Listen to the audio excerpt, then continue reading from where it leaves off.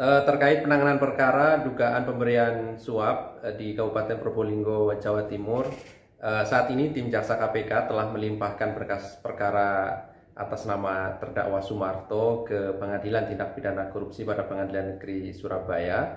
Sedangkan 17 terdakwa lainnya juga akan segera kami limpahkan dalam waktu dekat ini.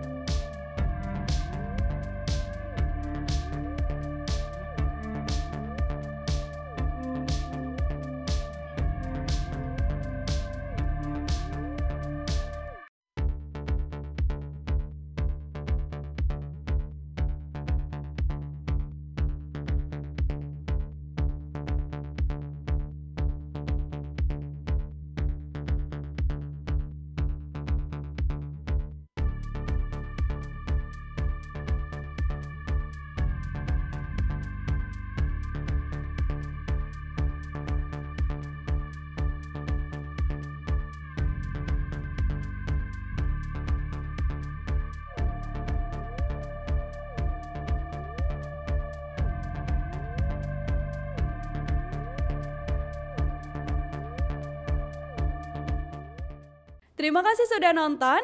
Jangan lupa like, subscribe, dan share ya.